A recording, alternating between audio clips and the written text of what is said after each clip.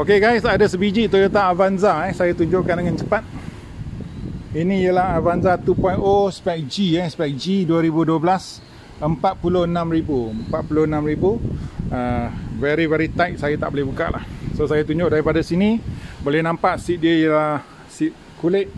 Dia ada stitching warna uh, dia ada apa ni? Warna grey eh. Ini bukan seat asal, ini seat yang sudah diperbaharui. So boleh tahan lah, boleh tahan. Kita tengok ke belakang pula. Ha, belakang aku boleh buka. Ha, ini belakang dia. Okey, depan ada touchscreen. Eh, nampak touchscreen. Ha. Ini ruang belakang dia. Dekat belakang boleh dilipat. Seat boleh dilipat. Maka boleh buka buat pasal malam. So, ini Innova 2.0G. Okey. Lagi sebiji MPV iaitu Exora. Exora tahun berapa ni? Exora tahun 2014 30,900 eh. Ini boat turbo Lady owner. Okay, pemilik wanita. Harap-harap kereta dia Wangi. Jangan pekung Tengok belakang. Apakah rupa belakang dia? Okay, ini rupa belakang dia. Nombor dia 5696 Boleh ke buka Okey, cat masih cantik. Cat dia masih cantik. Ini rupa pintu dia. Ah, wangi wangi. Ini rupa dalaman dia. Ini rupa dashboard dia. Mileage tak nampak eh, tak nampak. Sekarang kereta masih okey lah. Okey lah daripada pemandangan okey lagi lah. Kita cuba tengok boot. Boot dia boleh buka ke? Boleh. Okay, so Exora merupakan SUV, eh sorry, MPV yang paling bagus eh sebab saya paling suka dia punya seat tengah. Seat tengah nak tumble senang je, tarik one push tumble. Okay, so ini dia Exora. Okay, ini lagi sebiji uh, MPV yang orang kurang kenal, iaitu Chevrolet Orlando eh, Orlando. Brand Chevrolet tau. Ha. Dia punya size pun cute. Ha, dia punya design pun cute. Kita tengok daripada tepi. Boleh nampak dia punya ni. This this uh, setting chrome strip runs all across the car, the top of the car until the front. Very interesting eh. So you see the setting chrome strip as your roof rail and it goes down. So ini dia kita tengok kat depan. Wing mirror dia memang wing mirror orang uh, orang Amerika lah. This the American wing mirror. Okay, like a flag. How much is this car? Berapa kereta ni? 1.8 auto eh. New paint job. 2014. 2014. 39,000 saja. 39,000 saja kereta ni. Okay, pada korang yang suka. Kereta yang aneh-aneh. Ini dia kereta yang aneh. Tak banyak on the road. Paling banyak mungkin 40-50 biji kat Malaysia. Okay. Mileage berapa? Mileage 88,000 eh. Mileage is 88,000. 88,000. This is the dashboard. Very nice. Okay, comes with a bit of uh, body, uh, not body color, but a bit of uh, paint. You see the dashboard. Boleh nampak bahagian sana. Uh, bahagian yang melengkung tu. Warna perak tu. Itu ialah body color tau. Dia, dia bukan body color. Dia macam warna cat. Uh, warna cat. So dia macam uh, finishing dia macam Chevrolet Camaro punya dalam dia menggunakan warna cat so saya tak faham kenapa dia orang macam ni interior design ni. So dalam dia ada aircon.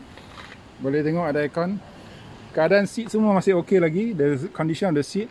This part is leather the top is fabric eh. Ha, dia letak seat cover lah tu. Atas tak ada infotainment no infotainment at the top. This is your third row. Ini row ketiga. Boleh tengok legroom dia boleh tahan juga. Boleh tahan legroom So kita tengok bahagian boot Yang penting bahagian boot Nak tengok. Boleh tahan tapi tak besar sangat lah Okay the the bag definitely is not as big as Which one? Uh,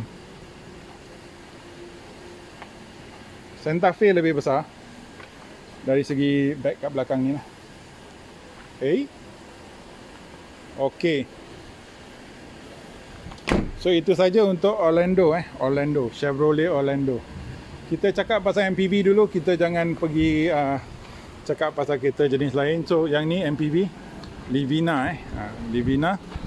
Livina warna putih, dia ada apa nama tu? Uh, wing, wing. Cantik. Okey, dia ada spoiler. Yang ni ada ada spoiler kat bawah. Cat dia pun baru. Ini ialah Grand Livina yang baru eh. New Grand Livina. Berapa harga dia? 1.6 2016 50,000 sahaja. 50,000 sahaja. Tengok. Ini kereta anda. Seat fabric. Kita buka. Kita dapati bahawa kereta ni di dalam keadaan yang begitu bagus sekali. Not too bad eh? Fabric dia okey lagi. Okey. Pintu dia macam ni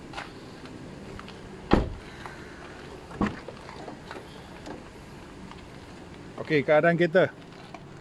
Boleh tahan lah, boleh tahan. Okey, ada aircon kat bawah. Ada, oh tak ada infotainment. Ingatkan ada. Okey, ini seat belakang. Saya buka lampu. Boleh nampak? Ha, itu ruang dia. Ruang seat kat belakang. So, tak boleh buka. Ada kereta. So, itu dia. Uh, Nissan Livina eh. Saya tunjuk lagi sebiji. Uh, Mazda Biante. Kereta yang favourite saya lah. Eh ni bukan Biante Sorry. Ni Mazda 5 Sebelum Biante Ok tengok eh Kereta Mazda 5 Ok Saya belum belum masuk Mazda 5 Saya nak masuk hari ni. Eh dia punya design macam ni ke? Oh dia punya design berombak. Tengok Tengok boleh nampak? Berombak. Depan ada lagi sebiji Saya nak tengok Nak confirm Oh iyalah, iyalah. Dia punya design memang berombak. Nampak? Ada berombak. Ha, yang ni yang ni gelap sikit tak apa-apa nampak. Ada tiga garisan eh. Oh, I didn't notice the wave uh, design. So this one, ini ialah Mazda 5 2.0 Cak baru 2011 43,000 eh 43,000 Ini rupa depan dia Macam kereta Mazda lah Ok dah mula hujan Bising sikit So All the best lah kalau korang tak boleh tahan bunyi bising Tutup volume tengok kereta je lah. So kita tengok uh, 43,000 apakah kereta yang kita dapat. Ok seat dia. Fabric eh fabric. Ini PU Ini dalaman dia